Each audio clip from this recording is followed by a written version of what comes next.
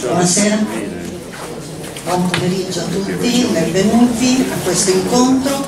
Oggi pomeriggio sarà una, un pomeriggio denso di, di, cose. La prima è questa, un dibattito totalitarismi, rivoluzioni e macismo. Sono presenti eh, Sandro Bellassai, la cui relazione al generalismo nell'Italia fascista, eh, Stefano Pivato al centro, lo sport e i regimi totalitari e poi Giampiero Piretto, il macismo russo nel paese dei soviet.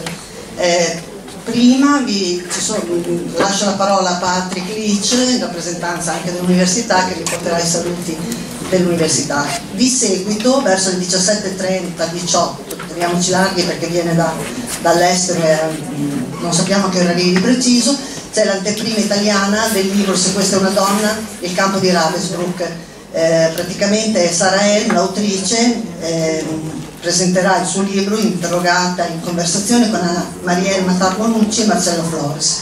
Il libro è eh, stato editato dalla Newton Compton proprio in occasione del festival. Oggi esce l'edizione italiana, quindi deve essere una cosa, una cosa bella. Poi questa sera alle 21 al Cinema Sapi ci sarà la proiezione di vincere di Marco Bellotto con l'introduzione di Gianfranco Miro Mori.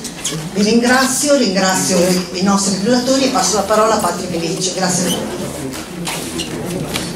Sì, buon pomeriggio a tutti. Porto il saluto a parte di interpretazione e traduzione all'evento e agli ospiti che parlano oggi. Eh, sono Patrick Lynch, vice direttore del Dipartimento. Eh, porto il saluto a parte del professor Raffaello Ozzano che purtroppo è stato ammalato oggi quindi non può venire e mi ha pregato poi di leggere un breve suo saluto perché ci tenevo molto a venire, purtroppo eh, non, non, ha potuto.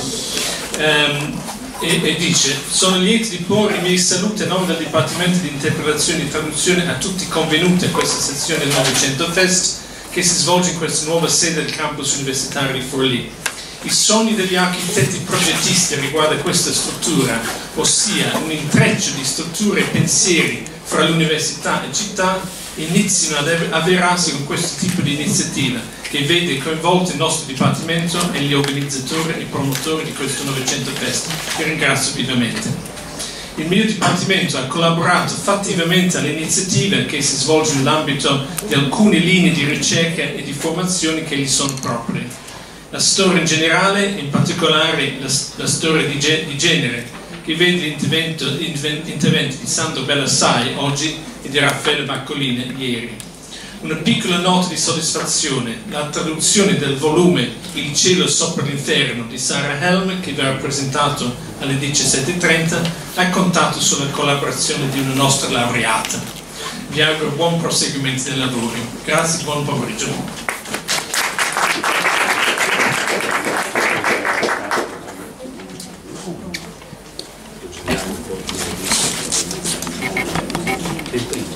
Sì.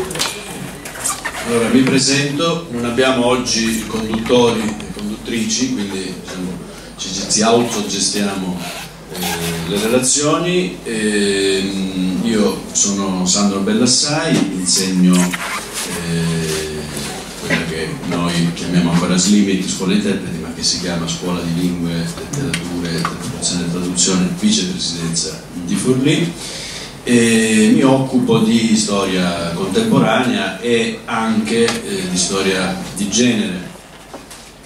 La mia eh, relazione si intitola appunto Il virilismo nell'Italia fascista. Io comincio subito con una citazione, una citazione di eh, Giuseppe Maggiore, un giurista, e questo brano è tratto da un testo del 1927 il fascismo è maschio, ama il pericolo, rifugge dalle chiacchiere, sdegna per naturale selvatichezza i corteggiamenti, mena ove occorra le mani, è fatto di pietra dura invece che della pasta dolce dei frutti canditi. Tanto basta a determinare il suo sesso. Il fascismo è, in una parola, suscitatore di virilità, contro ogni infemminimento e infrollimento dello spirito e perciò contro il petrarchismo della poesia, il misticismo della religione e il liberalismo della politica, contro il cicisbeismo del costume e il manicalarghismo dell'educazione. Si può essere più maschi di così? Ecco, questa è eh, la citazione abbastanza eloquente no, del, del, valore, è una tra, tra, mille naturalmente, abbastanza eloquente del valore che eh, la dimensione retorica della verità eh, ebbe per eh, la politica, per la cultura politica del ventennio, per la cultura politica fascista. Giuseppe Maggiore non è un imbecille qualsiasi, potremmo considerarlo forse un po' di cattiveria, un imbecille importante, cioè nel senso che eh, giurista, prima magistrato e poi penalista di spicco, fu poi rettore dell'Università di Palermo alla fine degli anni 30, fu uno degli intellettuali che firmarono manifesto della razza nel 1938, fece in tempo mentre gli alleati sbarcavano a diventare presidente dell'Istituto Nazionale Fascista di Cultura, quindi insomma diciamo non è l'ultimo eh, delle voci, non è l'ultima delle voci per importanza.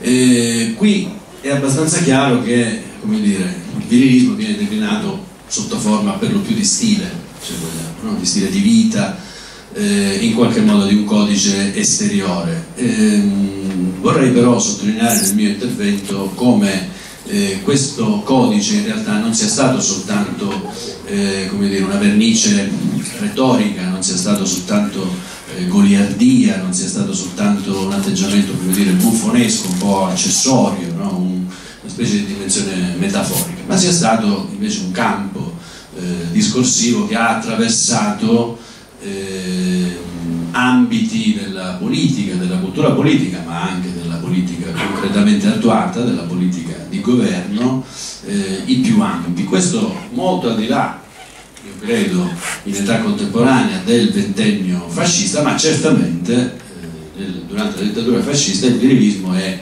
come diceva anche negli anni 90, uno studio importante di Barbara Spackman, che non è stato tra l'altro in italiano, dire, la cifra stessa forse di, della cultura politica eh, fascista.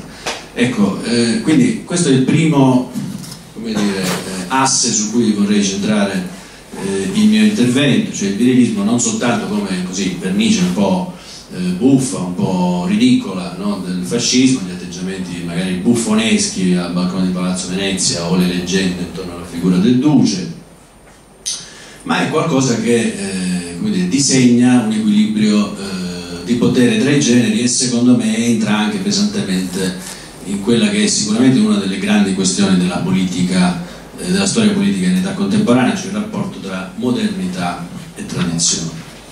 Eh, D'altra parte, eh, questo è il secondo punto, quando si parla di virilismo io credo eh, non dobbiamo parlare soltanto di uomini, perché parte integrante della operazione, se vogliamo dire così, virilista è quella grazie alla quale gli uomini disegnano una certa femminilità eh, ortodossa, disegnano i confini della, e soprattutto i limiti della libertà eh, femminile. Questa operazione discorsiva e normativa non è qualcosa di accessorio, ma è un pesante e fondamentale ingrediente della costruzione della mascolinità stessa. Questo perché le identità di genere, non lo scopro giustamente io, sono relazionali, sono intimamente relazionali, cioè l'una non è comprensibile pienamente senza l'altra, perché vivono entrambi in un sistema di relazione di potere e soprattutto si strutturano e si modificano reciprocamente. Quindi le identità, mi, mi limito in questo intervento all'identità maschile femminile eterosessuale, identità sono legati, eh, legate all'identità di genere da un rapporto di relazionalità e di reciprocità.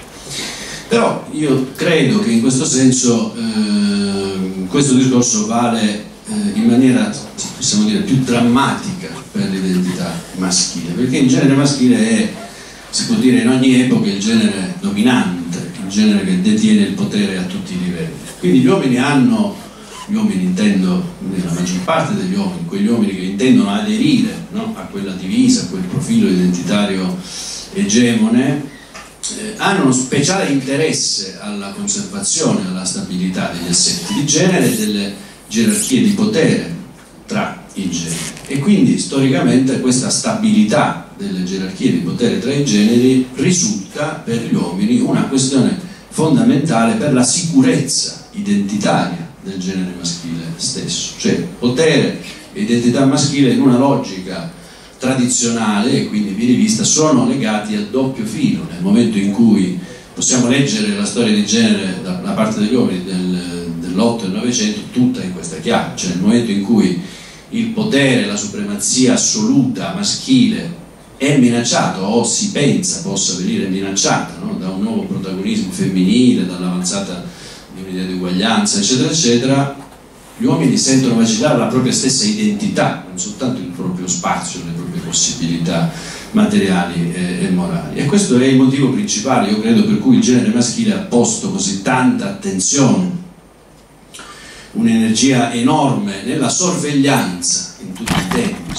della eh, ortodossia femminile, nello stesso momento in cui naturalmente sorvegliava anche l'ortodossia eh, maschile. Il problema, eh, quindi come dire, un, un tentativo di eh, stabilizzare gli assetti eh, e l'etica tradizionale, no? una legge dei padri che si presumeva eh, avrebbe dovuto essere valida per l'eternità, così come nel passato era valida dalla notte dei tempi. Il problema però è che l'avvento della modernità a livello culturale, politico, sociale, in senso lato, comporta una progressiva secolarizzazione della morale corrente, nel senso che valori, norme, modelli e ruoli si affrancano sempre di più da un rapporto di subordinazione necessaria nei confronti della tradizione. E così il principio di gerarchia, il principio di gerarchia, che possiamo considerare in un certo senso la cifra politica profonda di questa identità maschile legata a doppio filo proprio alla posizione del comando, questa, questo principio di gerarchia perde sempre più terreno man mano nel corso dei decenni, tra 8 e 900 a favore dell'uguaglianza, del libero arbitrio, di, una, eh, di uno scenario in cui eh, si lascia spazio o si pretende l'autodeterminazione dell'individuo, ma anche di vari soggetti collettivi, popoli, generi, classi. Ecco, secondo me è all'interno, soprattutto all'interno di questo contesto che noi dobbiamo leggere la rivincita, la revanche di un fronte culturale, scientifico, politico a fine Ottocento che tende energicamente, spesso anche violentemente, a riaffermare le gerarchie sociali, razziali, di genere come naturali, cioè a dire, congelarle per renderle intoccabili in una sfera di trascendenza eh, metastorica. Una parte secondo me non secondaria di queste retoriche neogerarchiche, le potremmo definire, è costituita dal discorso virilista. Questo discorso è un campo retorico in cui, un campo di linguaggi, di percezioni e di rappresentazioni in cui si intersecano a fine Ottocento, in tutto l'Occidente praticamente, militarismo, imperialismo, razzismo, autoritarismo, nazionalismo e anche classismo antiplebeo, pensiamo alle prime eh, costruzioni, analisi scientifiche della folla, no? della nascente sociologia italiana e francese, soprattutto a fine Ottocento, Gustave Le Bon, Scipio Sigel in Italia, la folla, le folle urbane, questo fenomeno tipicamente moderno, no? relativamente nuovo per l'epoca, come qualcosa di minaccioso, la folla è suggestionabile, la folla è animalesca per definizione, la folla è femmina, quindi qui come dire misoginia e autoritarismo, antidemocrazia si saldano in un linguaggio unico in questa concezione virilista la secolarizzazione, l'uguaglianza, il pluralismo, in una parola la modernità, producono frutti nefasti e appunto innaturali, contro natura, che minacciano la sopravvivenza stessa degli uomini in quanto genere. Questi frutti, tra i primi di questi frutti possiamo sicuramente elencare l'emancipazione femminile, no? o prima ancora eh, il femminismo, peggio ancora, no? perché anche eh, la femminilizzazione degli uomini dall'altra parte, un termine che a fine 800 e all'inizio del 900 ricorre ossessivamente nella pubblicistica di tutta Europa, anche questo è dire, un altro aspetto di quella che eh, viene chiamata degenerazione. Degenerazione è il titolo di un best seller europeo un medico ungherese Max Nordau nel 1892 e racconta appunto di questo pessimismo antropologico, no? di una civiltà moderna che sta dire, divorando se stessa e sta distruggendo i fondamenti della tradizione. Tra, eh, parte importante di quest'opera di istruzione è la messa in discussione delle gerarchie eh, naturali e di genere. Per combattere questi scenari apocalittici in cui si parla dire, esplicitamente di fine eh, del mondo, sembra che non ci sia altra strada che la difesa a spada tratta, non soltanto della supremazia maschile tradizionale, ma anche di uno scenario culturale e politico ispirato alla tradizione, quindi all'immobilità, come qualcosa di intoccabile. Se tocchiamo questo salta tutto. Quindi la continuità di questo scenario nella logica virilista tra 8 e 900 è una garanzia essenziale della continuità della supremazia maschile, ma è garanzia anche della continuità dell'integrità maschile, quello che dicevo prima, il legame a doppio filo tra supremazia e identità. No? È come se senza il piedistallo della supremazia gli uomini non solo si sentissero male, ma non si sentissero più neanche più uomini, davvero, in qualche modo. Appunto, femminilizzazione degli uomini è un fantasma no? che si aggira per l'Europa tra 8 e 900. E anche per questo motivo che misoginia e omofobia, che non sono assolutamente esclusivi di, del virilismo più roboante, no? come poi sarà sicuramente quello fascista, sicuramente rappresentano però ingredienti fondamentali, non accessori, di quello stesso eh, virilismo, logicamente e ideologicamente potremmo dire, per più eh, ragioni. Ma il problema però è che già al tempo della Belle Époque, quindi di quel torno di decenni a cavallo tra 8 e 900, eh, l'incipiente società di massa rende ormai completamente anacronistico il progetto di congelare la modernizzazione, cioè di proteggere la società tradizionale, gli assetti della società tradizionale dai venti di questa modernizzazione. Ormai perfino a molti nostalgici del bel tempo andato sembra eh, chiaro che la modernità è qualcosa di irreversibile, no? addirittura perfino il Papa Leone XIII, come sappiamo, per certi aspetti, ma non Francesco Giuseppe per esempio, lui il Kaiser che continua a vivere fino alla sua morte nel 1916 senza automobile e senza telefono. Queste sono naturalmente notazioni, come dire, eh, quasi frivole, ma sono indicative di, certa, eh, di, un certo guado in cui si trova la società, la cultura e la politica europea agli inizi del Novecento, proprio tra modernità e tradizione.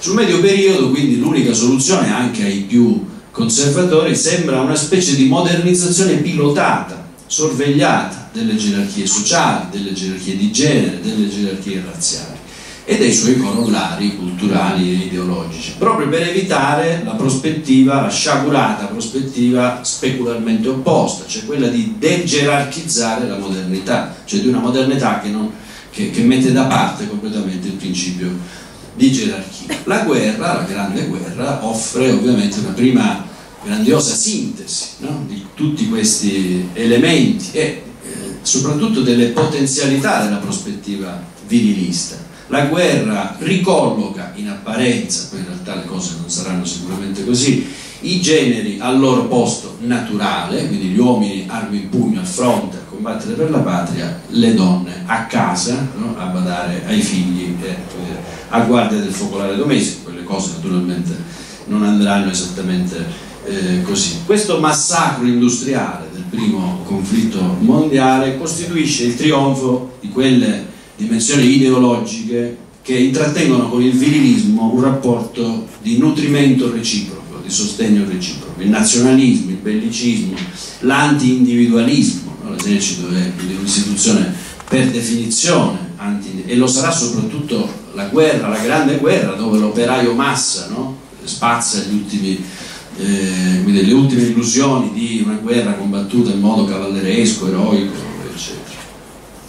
Ora, il fascismo si richiama geneticamente, questo è molto noto, proprio alla guerra. No? Durante il ventennio ricorre spesso questa eh, affermazione che la data di nascita della nuova Italia è il 24 maggio del 1915, il giorno dell'entrata eh, in guerra dell'Italia. Il fascismo si afferma e si consolida come la forza politica che fa una cifra distintiva del principio gerarchico. No? Pensiamo soltanto, ma questo è soltanto dire, una notazione quasi superficiale, no? ai gerarchi per dire l'elite politica fascista, la rivista gerarchia politica più importante diretta dallo stesso Benito Mussolini, eh, del fascismo, eccetera, eccetera.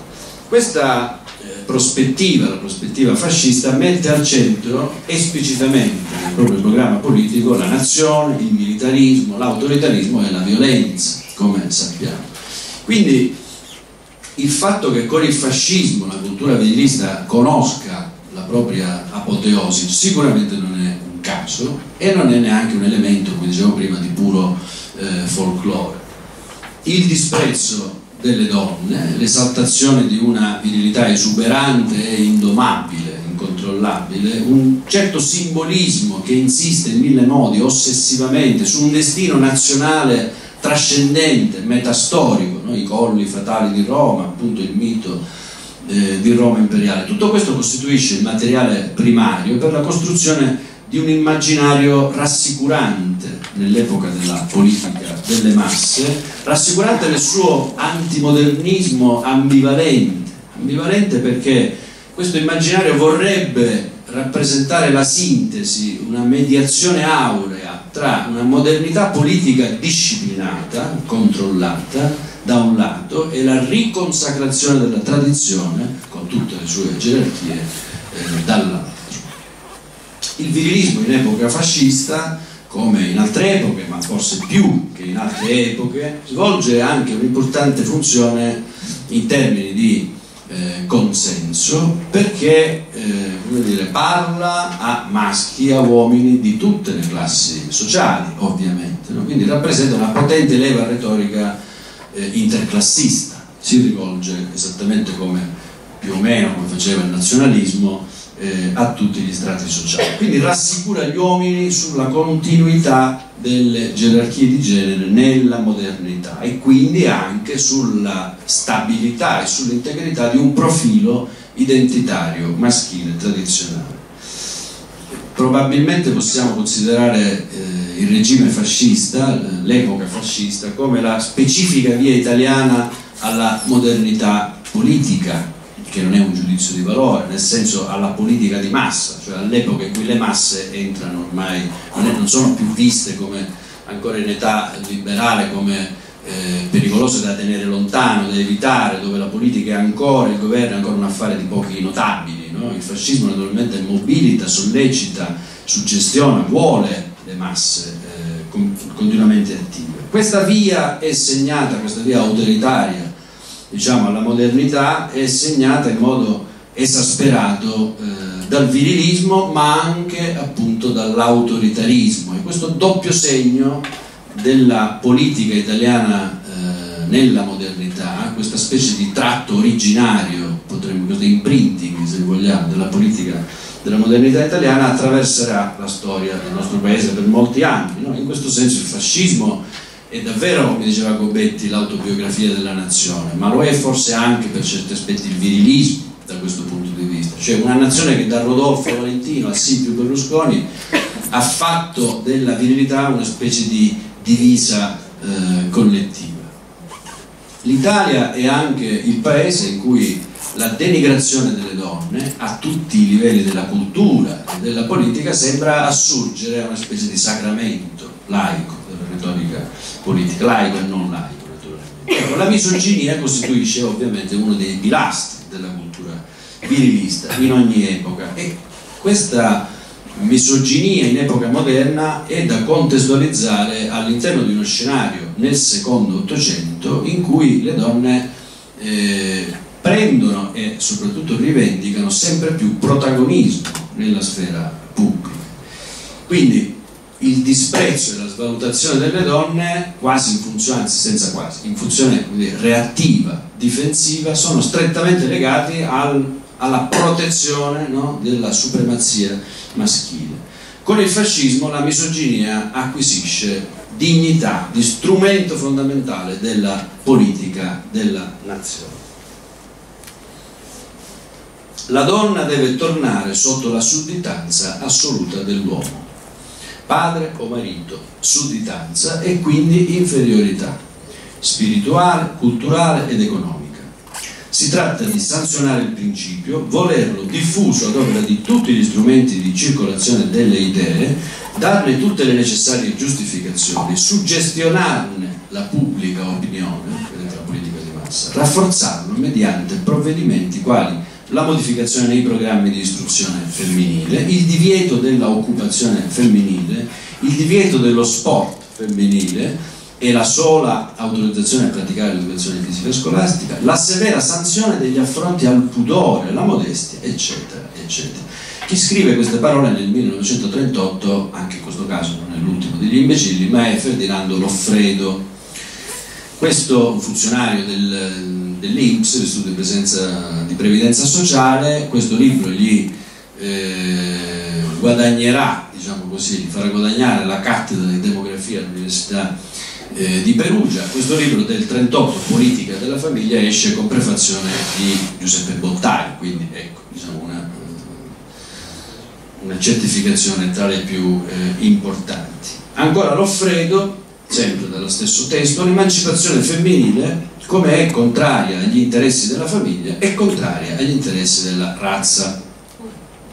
L'intellettualismo, l'eguaglianza professionale, la libertà sessuale, l'impudicizia, la promiscuità, lo sport mascolinizzano la donna e quindi ne riducono l'attitudine a essere una buona reggitrice del governo domestico e una madre di una figliolanza numerosa e sana dicevo prima, eh, il virilismo è un codice che attraversa e dà anche forma concreta no? a, varie, a, vari campi della politica eh, reale, non soltanto della retorica politica. Ecco, per esempio, la campagna demografica lanciata da Mussolini nel 1927, in questa operazione, eh, per molti aspetti retorica, perché non è che avrà molto successo, però insomma, che vede impegnate molte energie i vari apparati dello Stato, il rilancio di una femminilità tradizionale, il rilancio della maternità e la protezione del prestigio virile sono strettamente connessi e si collegano alla prospettiva mitica della eh, grandezza militare della nazione, cioè il numero è potenza. Con l'istituzione nel 1933 della giornata della madre e del fanciullo, questo doppio messaggio misogino e virilista ovviamente viene ulteriormente rafforzato. È una donna che scrive, Wanda Goriù. Il fascismo è una nuova civiltà, una nuova maniera di concepire la vita che ha bisogno di soldati. Siamo nel 33. Questi soldati non può donarli se non lei, la madre oscura la giornata della madre del fanciullo è ordinata appunto allo scopo di suscitare nei giovani, uomini e donne, questo forte sentimento, questo nuovo senso storico della stirpe che deve ridare al cittadino fascista l'orgoglio del civis romano. L'imperio al quale tendiamo, al quale confessiamo apertamente tendere, è appunto questa superiorità evidente dell'italiano nuovo, che restaura i valori tutti della vita e dà all'uomo la virilità integrale che si protende verso l'avvenire, che è sicuro perché egli stesso lo crea, un italiano un po' zoppicante, ma credo che la sostanza sia eh, molto chiara. In realtà, certo non bisogna aspettare il 33 o il 38 per verificare un'attenzione, come dire, occhiuta da parte della cultura fascista nei confronti dell'ortodossia femminile. Nel 1929 esce un libro, un libretto, un opuscolo molto interessante di un famoso eh, giornalista e scrittore Umberto eh, Notari che si chiama La donna tipo 3. Questo libro è abbastanza interessante perché eh, Notari nel 29 si iscrive all'interno di questo dibattito pro, sul pronatalismo, quindi sulla questione demografica, e dice la donna moderna non vuole più fare figli, non vuole più farne tanti, no? ma la cosa interessante è che lui dice la colpa è dei maschi, perché noi maschi abbiamo rinunciato dire, alla nostra autorità, no? al nostro piedistallo, al nostro eh, potere, quindi insomma eh, che cosa pretendiamo? No? Noi dovremmo faticare di più e dire, farci valere di più sulle donne, essere i breadwinner a tutto tondo, cioè quelli che portano il pane a casa la donna deve rimanere a casa se la donna lavora, è moderna, si taglia i capelli corti la sera va a ballare, va al cinema vede i film americani eh, legge le riviste eccetera, moderne eccetera cosa poi, eh, di che cosa possiamo lamentarci no? se non vuole più fare figli ecco vedete l'immagine di una modernità lui dice questa situazione è figlia del meccanismo industriale di una modernità eh, vista come negativa, ma nello stesso tempo con cui ormai nel 29 non si può non fare eh, i conti. E il discorso è un discorso assolutamente sessuato, cioè laddove le identità di genere e i loro dire, problemi, loro, le loro dinamiche sono esattamente al centro, esplicitamente al centro del discorso. Nel 1931, siamo ovviamente dopo la crisi di Wall Street no? del, dell'ottobre del 29, eh, la questione, scoppia la questione della cosiddetta donna crisi. Ne parla eh, molto bene Vittoria De Grazia no? nel suo volume fondamentale, donna al regime eh, fascista. Cioè eh, arriva a tutti gli organi di stampa una velina del sottosegretariato, sottosegretariato della stampa e propaganda che dice di evitare immagini o descrizioni delle donne troppo magre, troppo mascolinizzate, che significano sterilità e trasgressione. Siccome si credeva che questa immagine femminile fosse un'immagine di importazione, un modello che viene dagli Stati Uniti e siccome appunto in quel momento gli Stati Uniti nell'immaginario popolare erano la crisi, questa figura, questa specie di dire, strega del XX secolo viene eh, rinominata, ribattezzata appunto donna crisi. Nel 39, eh, nel corso degli anni 30, come dire, i consumi di massa eh, raggiungono eh, decisamente gli strati eh, medi, ceti medi, non anche la piccola eh, borghesia, gli stili di vita eh, cambiano, si tra virgolette, modernizzano ulteriormente, a fine decennio il cinema hollywoodiano avrà una enorme percentuale considerato che siamo sotto la dittatura fascista, no? negli spettacoli proiettati eh, nei cinema, la faccia appunto dell'autarchia. E quindi eh, l'allarme per le trasgressioni femminili, visto sempre come appunto un prodotto nefasto della modernità di importazione eh, statunitense e protestante, perché poi naturalmente ci sarebbe anche da esplorare quest'altro versante, no? quello del cosiddetto clerico-fascismo, questo allarme si intensifica e quindi nel 1939 si scrive il fascismo, dottrina etica, si preoccupa di restituire alla donna la sua missione procreatrice e domestica. L'uomo ha la sua dignità maritale e la famiglia ha la sua funzione educativa e sociale. Perciò esso, il fascismo, si propone di neutralizzare i veleni diffusi da quella particolare mentalità che all'insegna del comfort affievolito l'istinto della maternità e il richiamo morale della specie. Ma come dicevo, in realtà è in diversi ambiti della politica anche sociale no? che ehm, i riferimenti eh, alle relazioni e alle gerarchie di genere entrano praticamente in modo esplicito pensiamo alla eh, cosiddetta campagna ruralista no? che vuole glorificare, ma anche dal punto di vista delle politiche economiche, teo molto teoricamente, vuol dire avvantaggiare eh, la famiglia patriarcale eh, rurale, la campagna demografica, l'abbiamo già citata, ma anche le politiche del lavoro, dal 23 al 38 il regime vara una serie di provvedimenti che vorrebbero scoraggiare il lavoro eh, femminile, il mercato del lavoro, vorrebbero restringere drasticamente il mercato del lavoro femminile, naturalmente parliamo dire, del ceto medio, no? la massaia eh, contadina o l'operaia dal punto di vista della trasgressione della femminilità non dava troppi problemi, quindi il vero problema non è che la donna lavori, no? come scrive lo stesso Mussolini negli anni 20, la donna ha sempre lavorato in qualche modo, il problema è che facendo poi certi lavori dentro uno scenario urbano, moderno, la commessa, l'impiegata, la dattilografa, eccetera, eccetera, poi comincia a montarsi la testa e quindi no, magari queste giovani donne che si trasferiscono in città, vivono da sole, chi le controlla, eccetera, eccetera. Eh, le campagne antiborghesi, no? campagne antiborghesi assolutamente, dire, se vogliamo, eh, ridicole ed evanescenti, no? lo stesso Mussolini nel 1938 dice la borghesia non è una classe sociale, la borghesia è uno stato d'animo, no? quindi è chiaro che il fascismo non ha certo una politica eh, economica, ammesso che ne abbia una, insomma comunque anti, anticapitalistica, nonostante tutti i proclami altri sonanti.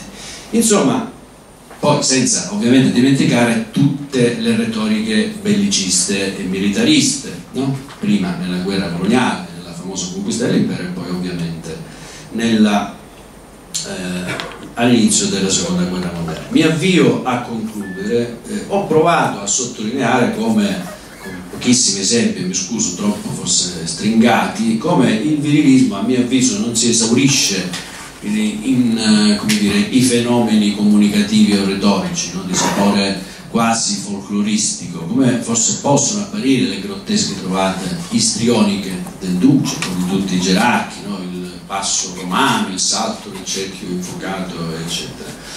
La comprensione eh, delle dinamiche retoriche del virilismo, secondo me, forse ci possono avvicinare a comprendere la funzione che il virilismo ha di linguaggio interclassista come dicevo io, capace di rassicurare le masse maschili disorientate dai processi di modernizzazione, cui, dire, le cui conseguenze in primo luogo sono l'emancipazione femminile, come ho detto, addirittura lo spettro del femminismo e la femminilizzazione dell'uomo. Allo stesso tempo io credo che il virilismo non è soltanto una specie di vernice retorica che dà un valore aggiunto all'aggregazione del consenso, in un'epoca, quella della società di massa, ma produce dei concretissimi e pervasivi effetti di potere materiale anche, definendo rigidamente limiti e possibilità della libertà delle persone, anche nella vita soprattutto forse nella vita quotidiana. Allora,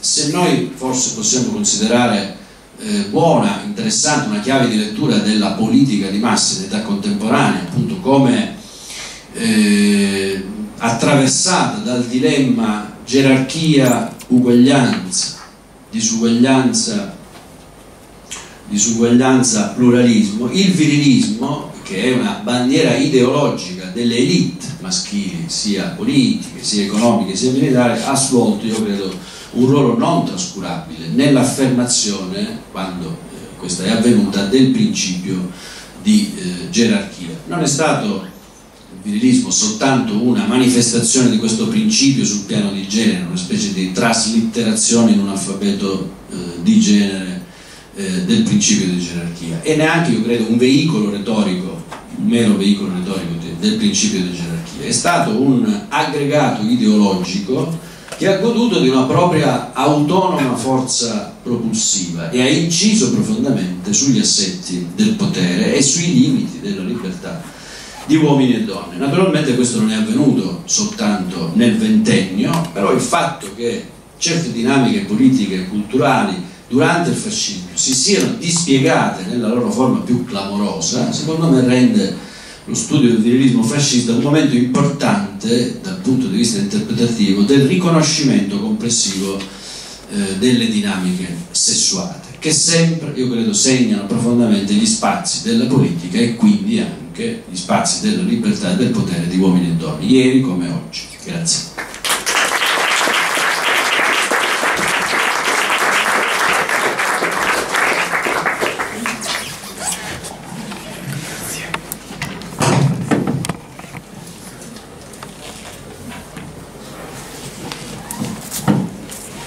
Grazie. Eh, mi tocca il ruolo di eh, cerniera tra quanto ha detto quella 6 e quanto dirà eh, Piretto. Dunque, seppure sinteticamente, darà uno sguardo eh, allo sport, meglio alle, alle, ideologie del corpo, sia negli stati totalitari di segno fascista, sia in quelli di segno comunista. Ovviamente eh, con la consapevolezza che si tratta di uno sguardo molto rapido che rischia la superficialità. Io partirei da un'immagine si vede? Ah. Aspetta che...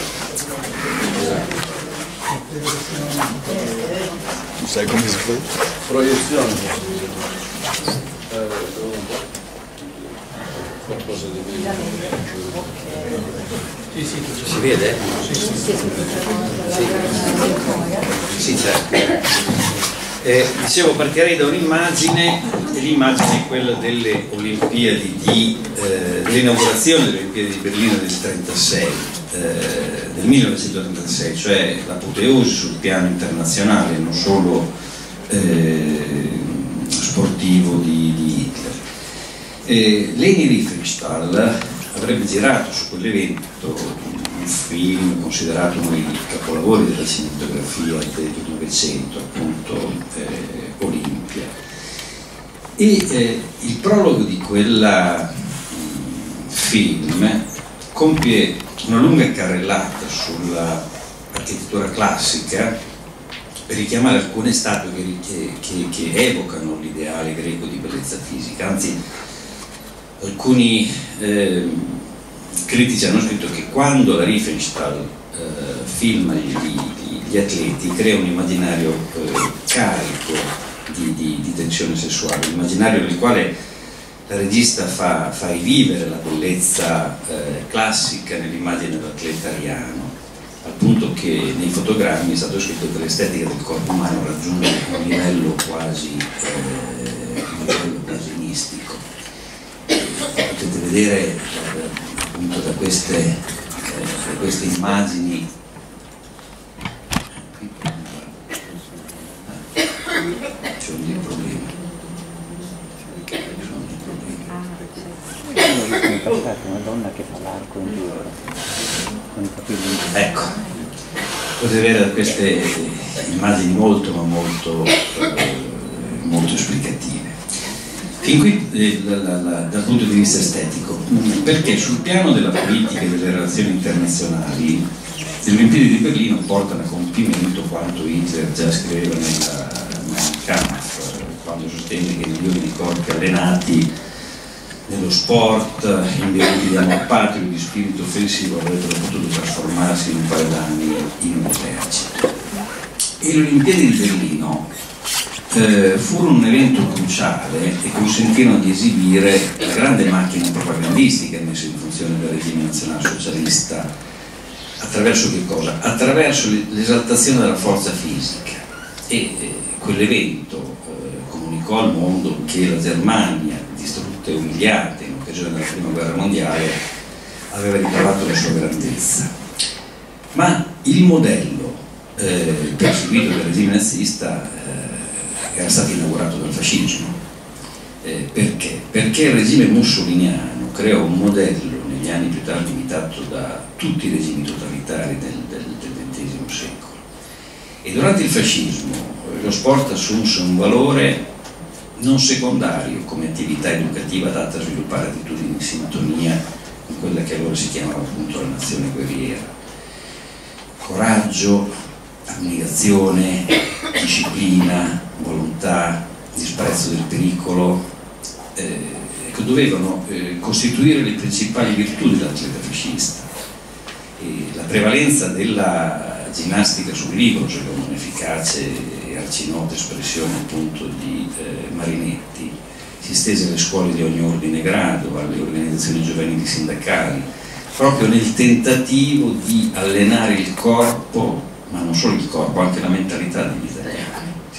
Prima, veniva accennato prima alla modernità, in questo, in questo senso il, il, il, fascismo mostra dei lati eh, di una modernità sconcertante e eh, i modelli incarnati da, da, dall'Italia sportiva del fascismo dovevano penetrare appunto eh, nel, nel, cittadino medio. Detto per inciso, eh, l'Italia non è mai stata, eh, prima di allora, ma anche in seguito, così forte dal punto di vista sportivo. Eh, pensate solo ai successi della nazionale calcistica, vinse nel 34, nel 38 i mondiali, eh, bisogna aspettare l'Italia poi di Paolo Rossi del, dell'82, tanto per capirci, e in mezzo ci infila anche la, la, la medaglia che conquista la loro, che conquista Berlino nel 36, eh, una nazionale fortissima. Uh, ma pensate ai ciclisti, Girardengo, Binda, eh, Guerra, e verso fine anni 30 Bartoli, pensate alle travolate oceaniche, e, ma pensate soprattutto, eh, allora l'Italia venne definita la nazione sportiva per eccellenza primo Carnera. Perché? Perché nessun atleta negli anni 30 incarna il mito dell'Italia guerriera come, come primo Carnera. Eh, quando eh, conquista eh, la corona del, dei pesi massimi, siamo nel luglio del 33, e eh, quella vittoria viene salutata retoricamente come la vittoria di una nazione, di una nazione suprema e imbattibile. E quello loro ebbe un sapore del tutto particolare, se vero che uno dei, dei, massimi storici del fascismo, Renzo Di Felice, non esitato in dire che Incarnera uno degli agenti del consenso appunto eh, dell'Italia, dell'Italia 30. E la, la, la, la, potenza, la forza fisica di Carnera si, si trasformarono proprio nella gagliardia, nella vitalità di una, di una, di una nazione. Eh, l'immagine di Carnera fu utilizzata per correggere proprio eh, lo stereotipo dell'italiano piccolo, del fisico gracile, per accreditare che cosa? La vitalità, la forza e il figlio del fascismo. Del, del fascismo. Eh, c'è, non so se l'avete presente, ma eh, c'è un'immagine proprio con la quale si può fare un paragone, quella del 1908, l'immagine è quella di un atleta, Dorando Pietri, un maratoneta, che crolla eh, sul traguardo, eh, a pochi metri, viene sorretto dai giudici, viene squalificato. Quell'immagine fece il giro del mondo, ma fece il giro del mondo, ma offrì nel 1908 un'immagine dell'Italia fiacca, un'immagine che crolla appunto sul traguardo. Ecco, l'immagine di Carnera invece che cosa fa? Riabilitano completamente. Eh, questo è Carnera, eh, con, la, divisa del, della, milizia. Ecco, rovesciano completamente l'immagine dell'atleta, e della nazione eh, italiana. Anche se il comunicatore per eccellenza eh, dell'ideologia fascista in materia di sport fu Benito Mussolini. Eh, il culto della personalità del Duce fu costruito anche grazie alla sua immagine sportiva. Perché? Perché Mussolini venne a personificare quell'ideale proprio del, del, del, vivere pericolosamente nel quale l'italiano medio avrebbe dovuto identificarsi, eh, perché lo sport come attività di massa avrebbe dovuto stabilire una nuova gerarchia di valori, avrebbe dovuto essere espressione di uno stile basato proprio sulla supremazia del più forte, velocità, giovanilismo, virilismo, dinamismo, sportismo e Mussolini sul piano propagandistico interpreta le qualità del superuomo nizano come nessun uomo politico aveva fatto in precedenza. Eh, in realtà più che un personaggio politico classico Mussolini sembra costituire la rappresentazione eh, simbolica delle migliori qualità eh, dell'atleta. se voi andate a vedere ci sono fotogrammi dell'istituto eh, Luce che lo ritraggono a torso nudo, eh, sono tutti fotogrammi che avete sicuramente visto, mentre guida un'automobile, mentre va in motocicletta, mentre nuota, mentre scia eh, e così via. C'è una definizione molto bella, questa è un'immagine che circola moltissimo cioè di, un, di antropologo americano che ha scritto che Mussolini rappresenta il maggior atleta politico del periodo fascista. E per comprendere meglio eh, proprio l'esasperazione della cultura del, del, del corpo, parte del fascismo, eh, qui occorre richiamare le polemiche che negli anni 30 si svolsero ad esempio con, con il mondo cattolico. E, in particolare sul problema del, dello sport femminile, eh, perché all'interno del fascismo esistono due correnti, da una parte come veniva eh, richiamato poco fa c'era qualcuno che si opponeva alla, alla donna atleta perché si pensava appunto alla mascolinizzazione del corpo, ma c'era tutta un'altra corrente che diceva no, bisogna assolutamente fare sport perché attraverso lo sport eh, razza e quindi le madri italiane possono eh, migliorare. Ma chi non aveva invece dubbi sul fatto che le donne non dovessero fare dello sport erano i cattolici, eh, che hanno una posizione molto particolare eh, sullo sport femminile ma anche sullo sport maschile perché già nel, nel più 11 siamo nel 29 eh, nell'enciclica rappresentante in terra stigmatizza quelli che definiva gli eccessi dello sport di regime e se la prende con quelli che ancora una volta vengono definite le esagerazioni del materialismo sportivo che cosa si intendeva per, per, eh, per materialismo sportivo? Luigi Zedda, che è il grande orchestratore della propaganda cattolica, sarà presidente della gioventù cattolica negli anni 30, poi negli anni 50, eh, anzi sarà quello che farà poi confluire tutte le strutture sportive del CONI eh, all'interno appunto del, del, mondo cattolico, si laurea la cattolica con, un, con una tesi poi confronti in un monumento che si chiama appunto lo sport. E Gedda condanna appunto le esagerazioni del, del, del materialismo sportivo, si chiede, il giovane cristiano deve avere per ideale Ercole o Carnera, sarebbe vergognosa tale decadenza. E che cosa fa? Crea anche un, eh, un modello, Gedda, un modello che viene costruito in laboratorio, quello di Gino Bartali, eh, il magnifico atleta cristiano si chiamava allora. E, eh, quando, quando, parlava Jed di esagerazione del materialismo sportivo ovviamente se la prendeva soprattutto con l'esibizione della forza fisica, con un pugile come, eh, come, come Carnera. E Gino Bartoli si discosta alquanto dall'atleta di regime che era espressione dell'uomo del, del fascismo. No? Nuovo del fascismo attraverso l'ostentazione di una virilità eh, spesso accompagnata da sottintesi giornalistici da un largo contorno di eh, di allusioni sessuali, anzi Bartali rappresenta il un modello in certo qual modo alternativo a quello dell'esemplare atleta eh, fascista che si allontana molto proprio dagli stereotipi di regime. Leggo solo una frase, eh, è un linguaggio molto, siamo a metà del eh, 36-37 eh, sulla rivista della, gioventù cattolica italiana, eh, viene esaltato Bartali e si critica l'atleta, fascista. Bartali viene presentato come, cito testualmente, casto per convinzione morale igienica, che non tiene a distinguersi per essere un porzellino scatenato. No?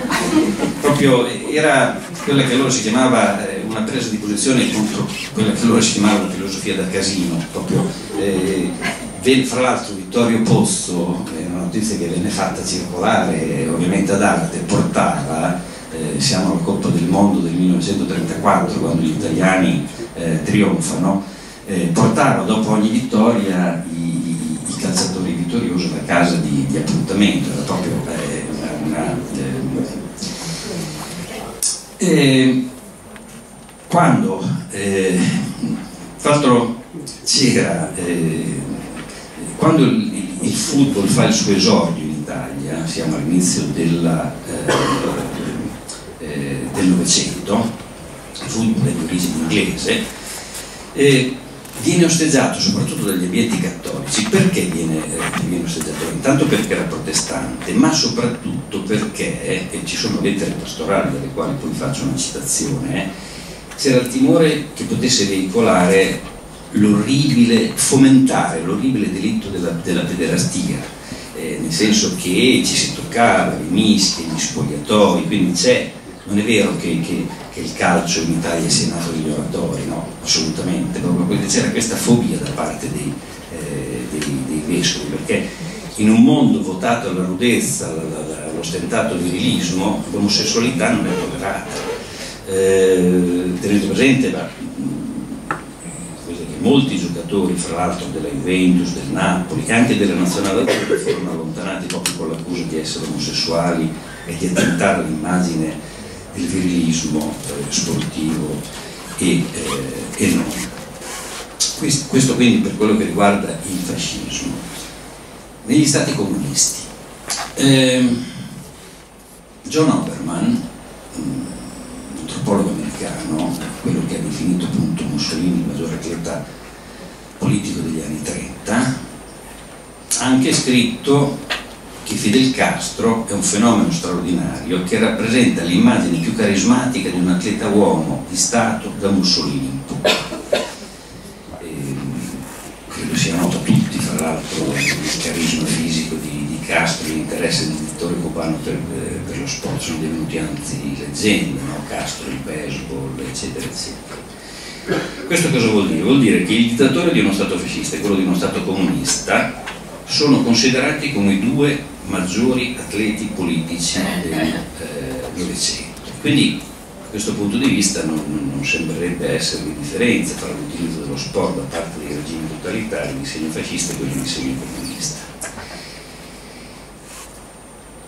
C'è un fatto però, che la valorizzazione dello sport da parte degli stati comunisti ha eh, origine eh, nell'Unione Sovietica degli anni 30, sotto Stalin. No? Perché? Perché durante gli anni di Stalin venne varato un programma destinato a trasformare lo sport come per il fascismo del resto, in uno dei veicoli principali dell'ideologia comunista. La pratica sportiva viene concepita non solo come un mezzo eh, per ehm, incrementare appunto le relazioni internazionali, viene concepita come una forma di socializzazione politica. Tant'è che alcuni studiosi non hanno esitato a considerare l'atleta sovietico come il corrispettivo sportivo del lavoratore staccanovista. Cosa vuol dire? La conquista del record del primato sia nel lavoro che nello sport che diviene uno degli obiettivi della costruzione del comunismo. Eh, tenete presente solo questo, che nel secondo dopoguerra eh, l'Unione Sovietica eh, negli anni 30 o anche alla fine degli anni 40, quando riprendono le Olimpiadi siamo nel 48, non si presenta sul proscenio internazionale, non partecipa proprio alle competizioni perché facevano all'interno degli stati facevano le spartachie, cioè gareggiavano appunto fra di loro, non c'è ancora il confronto con le potenze occidentali. Ma quando l'Unione Sovietica fa il suo esordio olimpico a Helsinki, siamo nel 52, conquista 71 medaglie contro le 76 degli Stati Uniti. Ma già a Melbourne, siamo nel 56, l'Unione Sovietica si piazza al primo posto con 98 medaglie d'oro contro le 74 degli Stati Uniti. Se poi noi sommiamo le medaglie dell'Unione Sovietica con quelle di tutti i paesi del patto di Varsavia, la DDR in testa, la patria di quelli che sono stati definiti appunto gli ormoni del, del, del comunismo per l'uso eh, esagerato di steroidi, di anapolizzanti, tutte le cose che sapete. Ecco, e se sommiamo queste medaglie il blocco comunista risulta largamente vincente sul piano sportivo nei confronti del mondo occidentale. Ecco, di fronte a questi dati si pone però un interrogativo, che è questo, è lo sport, meglio, l'ideologia del corpo, è di destra o è di sinistra? E la domanda, per quanto possa apparire banale, è legittima, se andiamo a leggere dall'Ottocento in poi quanto hanno scritto marxisti, radicali, socialisti a proposito di, eh, a proposito di sport. Engels Plekanov, su tutti, hanno più volte dichiarato la loro avversione nei confronti del corpo. Eh, Weber, sociologo americano, la teoria della classe azzata, eh, parla del carattere sportivo come di una riabilitazione del primitivo istinto barbarico eh, John Hobson, che è l'autore del 1902 del primo studio sistematico sull'imperialismo, eh, individua l'essenza dello sport in un arcaico istinto predatorio. Non a caso siamo negli anni 40, un intellettuale di destra come Dirio La Rochelle disprezzava, cito testualmente, la sciatteria degli uomini di sinistra, il loro atteggiamento sdegnoso verso ogni tipo di orgoglio corporale. E si tratta fra l'altro di pronunciamenti che trovano un'applicazione pratica, perché se andiamo a vedere l'atteggiamento della sinistra europea all'inizio del Novecento, perlomeno fino agli anni 30, è eh, lo sport come viene considerato? Viene considerato uno strumento della borghesia capitalista. Eh, addirittura c'è un congresso, eh, siamo al congresso della Federazione Giovanile Socialista di Firenze del 1910, in cui viene votato all'unanimità un ordine del giorno nel quale si dice che tutti quegli iscritti al circolo dell'Unione Socialista che fanno attività sportiva saranno automaticamente espulsi. No? Tant'è che poi ci provano a fare le gare fra di loro cose, sono stati considerati questi, questi, primi socialisti che fanno dello sport, no? organizzano le gare senza dare medaglie perché il criterio della competizione non, deve, eh, non deve, esserci assolutamente, ma poi sono, sono, gare che durano pochi anni perché eh, la, la, la, io credo che l'aforisma più, più ipocrita del Novecento sia quello di De l'importante è vincere, l'importante è partecipare, assolutamente, non sport è sempre l'importante è vincere, perché organizzano due o tre competizioni di questo tipo dove non danno medaglie, poi non ci va più nessuno. Eh, eh, questo che cosa vuol dire? Vuol dire che almeno dal punto di vista teorico non si può condividere il giudizio di quanti parlano di una rinuncia al corpo da parte della sinistra e del marxismo in particolare, perlomeno dal punto di vista teorico. E, e un paragone fra i modelli fascisti e marxisti porta a due importanti conclusioni. In primo luogo l'ideologia fascista, e non quella marxista che utilizza persino esalta gli elementi del temperamento sportivo, perché il sogno della verità dinamica che tratteggia in maniera enfatica il corpo perfetto inteso come simbolo di forza è stato un tema obbligato di ogni cultura fascista, di ogni cultura di destra. È chiaro che se andiamo a analizzare l'evoluzione dei paesi comunisti a partire dagli anni 30, la conclusione non può essere che eh, quella alla quale giungono gli studiosi che citavo prima, eh, secondo i quali l'importanza data allo sport nel paese del comunismo reale ha costituito una violazione degli assunti dell'antropologia marxista. I marxisti, eh, Plekhanov che parla, non ostentano il corpo malamente eh, sotto questo punto di vista dunque la pratica contraddice l'originaria antropologia eh, marxista. Un'ultima notazione che eh, riporta, ci riporta al, al, al, al, nazismo. Il successo eh, delle Olimpiadi di Berlino eh, del 1936 fu per certi aspetti inspiegabile. Eh, inspiegabile se si considera, fatto, è la quella di Berlino va considerata come la prima Olimpiade moderna, precedentemente all'Olimpiade di Berlino questi appuntamenti si svolgevano dove? Nei, nei, nei padiglioni dell'Expo, eh, a lato di eh, manifestazioni commerciali. Invece Berlino, a Berlino per la prima volta si costruisce un villaggio olimpico, per la prima volta vengono stabiliti tutti quei rituali olimpici ai quali assistiamo ancora oggi, tipo la, la, la fiamma olimpica che da Olimpia parte, arriva a Berlino, quindi c'è proprio una consapevolezza di fare dello sport uno strumento di relazioni e di, eh, e di propaganda. E paradossalmente non ci, non ci, fu alcuna nazione che decretò il boicottaggio, nonostante siamo nel 1933, le leggi razziali ci fossero già da, eh, da, da, da tre anni. E, ci fossero, fossero state promulgate, fossero eh, ampiamente applicate, tant'è che l'applicazione delle leggi razziali eh, provocò l'espulsione da palestre, piscine, campi di calcio, eh, di atleti proprio di, di origine ebraica. E stessa sorte toccò ad esempio ai giornalisti sportivi, ai tecnici, agli allenatori di squadre di diverse eh, discipline. Ci sono campioni di grande levatura, penso ad esempio al pugilato, penso al, al tennis, proprio di, di, atleti che vengono, ai quali viene impedito di, di, di gareggiare negli anni, negli anni, 30. Ma a parte il caso di, campioni affermati, furono migliaia i giovani costretti a abbandonare l'attività sportiva perché erano appartenenti alla razza ariana. Eh, ironia della sorte, un episodio noto, stranoto. Eh, quando un atleta di colore che corre per la nazionale americana, Jesse Owens, eh, si aggiudica quattro medaglie d'oro, diventa il trionfatore delle Olimpiadi di Berlino, eh, si racconta che Hitler appunto abbandonasse lo stadio per non stringere la mano a un atleta ritenuto di una, razza, eh, una razza inferiore.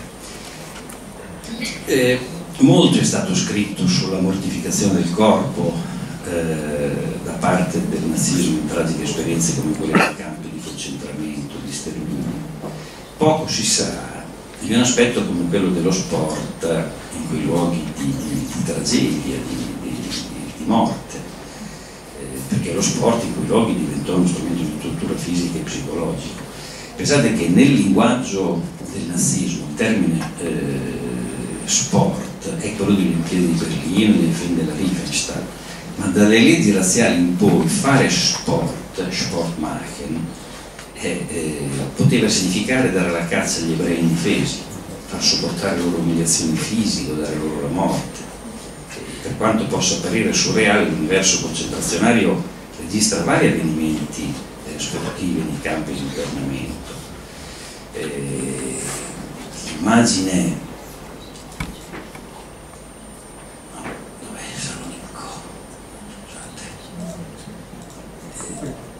durante i rastrellamenti, non lo trovo comunque datemela per buona, durante i rastrellamenti, eh, tra l'altro ci sono foto eh, incredibili appunto de, de, de, degli aguzzini dell'SS che, che, fanno uscire dalla fila eh, gli ebrei, c'è una bellissima di, non so perché si sia persa un rastrellamento a Salonicco dove, eh, eh, dove, gli ebrei vengono, dove gli ebrei viene imposto appunto di fare esercizi, esercizi fisici eh, ma ci sono tantissimi, eh, tantissimi eh, raccontate moltissime storie di, di, di, campioni, soprattutto di pugilato, che vengono internati e vengono obbligati a combattere eh, fino allo sfinimento, 70-80 riprese eh, nei, nei, nei, campi di, nei campi di sterminio. E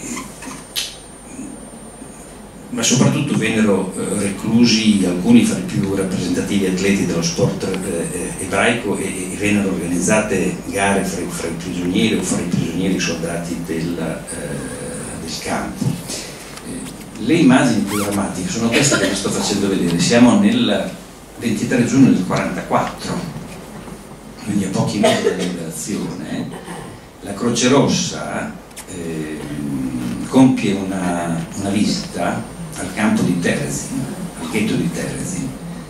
E eh, per mostrare eh, scene di vita idilliache nel campo venivano organizzate gare sportive come queste di, di atletica ma addirittura viene organizzata una partita di calcio. Qui potete sono fotogrammi che vengono dal memoriale della Shoah di, di, di Parigi.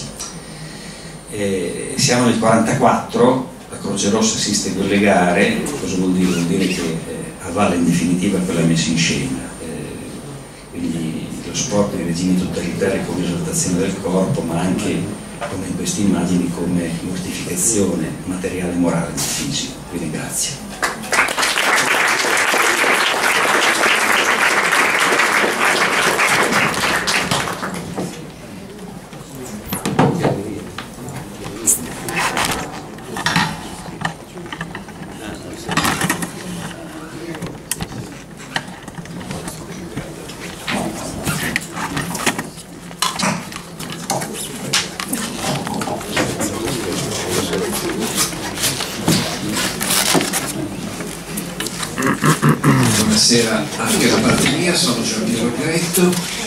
Insegno cultura russa e cultura visuale all'Università Statale di Milano e eh, la presentazione che vi propongo questa sera è un po' la sintesi di questi due metodi disciplinari, eh, quindi un, un uh, intervento sulla cultura sovietica uh, attraverso le immagini.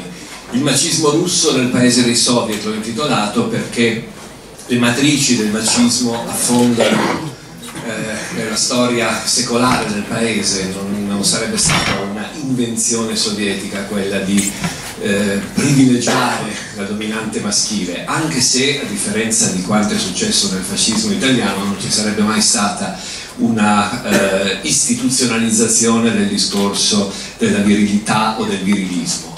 Eh, qui ci sono, uh, alcuni volti sono molto noti, altri forse meno, Pugaciov, il capo della rivolta contadina, Maxim Gorky, ehm, il monaco Santone Rasputin, eh, gli immancabili poeti Mayakovsky e Sienin e il eh, cantautore sovietico eh, Vysotsky che sarebbe stato forse uno degli ultimi macho dell'Unione Sovietica.